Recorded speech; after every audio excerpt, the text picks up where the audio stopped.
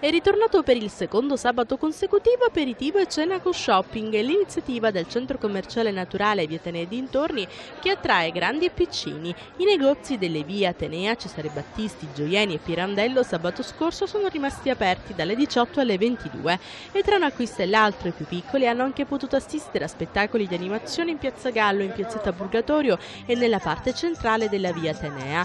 Tra le iniziative anche momenti culturali. I più grandi hanno anche potuto visitare visitare mostre e musei rimasti aperti fino a tarda ora, come i locali delle fabbriche chiaramontane in piazza San Francesco e le officine delle arti di via Celauro. Alcuni negozianti assicurano di aver battuto l'ultimo scontrino alle 23.30 e che lo shopping notturno funziona e consente ai clienti di fare buoni affari anche per il perdurare degli sconti.